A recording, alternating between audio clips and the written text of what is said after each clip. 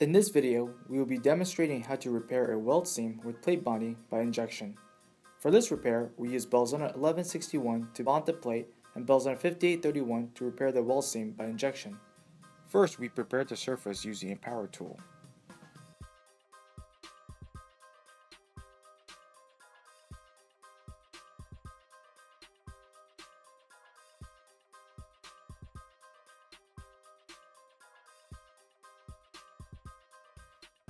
Then we clean the repair area to remove grease, oil, and dirt.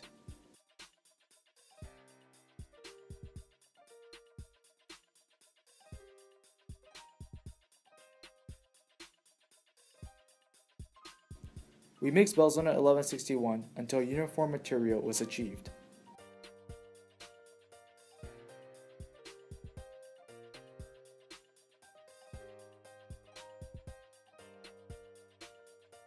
A layer of Belzona 1161 was firmly applied to the edges with a stiff bristle brush to ensure full contact with the surface. Part of the plate we used is made of acrylic to provide a better demonstration of the injection technique. Additional Belzona 1161 was also applied to the edge of the repair area. Next, Belzona 1161 was used to build up the material to ensure a proper seal. The plate was then positioned and firmly pressed onto the repair area. Chamfer the edges with exuded product.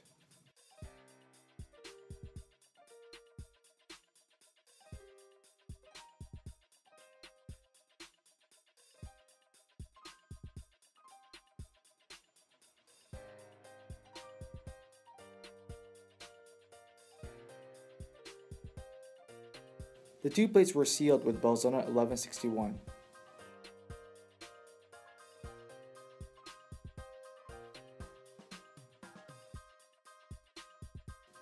We mixed Belzona 5831 until a uniform material was achieved.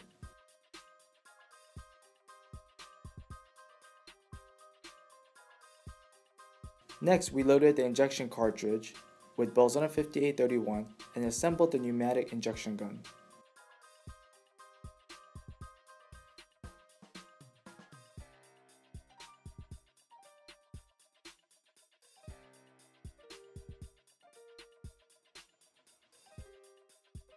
Once we reached the vent ports while injecting Belzona 5831, they were sealed with corks.